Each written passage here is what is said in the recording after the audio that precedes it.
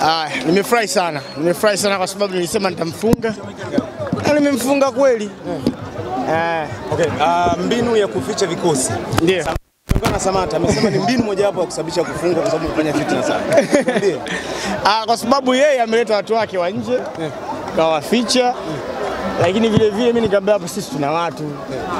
Eh, sisi tuna watu. Kama mlivyoona watu wangu ndo hawa hawa, lakini tumewanyosha sasa. Tumeona kwa penalti ya uongo ile, mtu kafanywa nini, wameanguka.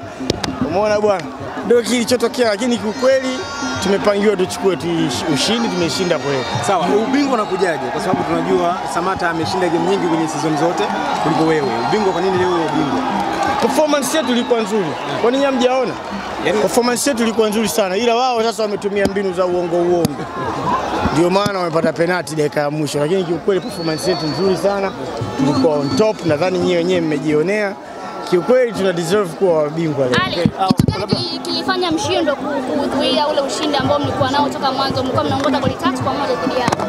Goli tatu kwa moja. Ah, mpira ndo ulivyo, mpira huwezi jua, mpira bwana ndo ulivyo, chochote kinaweza katokea, na hizo kuingia goli kwa haraka haraka ni matokeo tu ya mpira, ndo jinsi, ni tabia ya kimpira. Si, usi, usi, usiwe na wasiwasi na hili. Siri kubwa ambayo imefanikiwa kukusanya wachezaji wengi wanaoshiriki ligi ya NBC. Kwa upande wako imekuwaje kwaje? Ni nini hasa ambacho kilikusababisha kwamba ukawa na nguvu ya kuwachukua wachezaji wengi wanaoshiriki ligi ya NBC? Ndio always tunafanyaga hivyo, siku zote tunafanya hivyo kwa sababu tunaheshimu mchango wa wachezaji na kila mchezaji anatakiwa kujenga CV yake kwamba ameshiriki katika charities ambazo yeye pia ni star celeb, ameweza kuchangia katika ili kampeni anifuate. Kiukweli inapendeza kwa sababu uh, wanapendwa na watu, wachezaji wanapendwa na watu. Kwa hivyo ili kukamilisha ile CV yako ya kuonyesha kwamba wewe ni star celebrity, kuna watu wanakupenda, lazima uonyeshe kwamba jinsi gani unawajali. Sawa. Tumechukua kombe leo. kwa wingi siku ya leo, unauzungumziaje? Kusupport ah, katika mechi hii. Kwa sababu pia wamejitokeza ili kwa ajili ya kuchangia. Sawa, tumechukua kombe leo.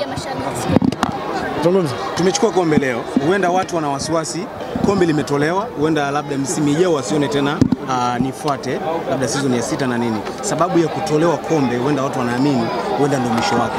Hebu weka wazi kusema. Hapana, hapana, tumeboresha tu tume, ni, ah, ni waboreshaji tu ya, ya, ya utendaji hmm. e, kombe litakuwepo tena na tena, umeelewa? Kwa sababu tunachotaka ni kupata ile idadi kwamba wewe umechukua kombe mara ngapi.